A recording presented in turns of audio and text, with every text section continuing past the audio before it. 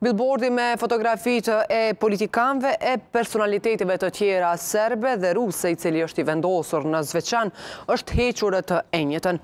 Në të kanë qenë të vendosura fotografitë e personave të cilët ishin shpallur qytetarë nderi në këtë komunë. Të pranishëm gjatë largimit kanë qenë edhe ministrat Xhelal Sveçla dhe Elbert Krasniqi. Në Republikën e Kosovës nuk ka vend për figura të diktatorëve, të pushtuesve, agresorëve. Ne jemi një vend demokratik i përcaktuar qartë për vlera perëndimore, prandaj që nga sot në asnjë cep nuk do të lejohet simbolika të diktatorëve apo të vendeve të cilat janë agresore në raport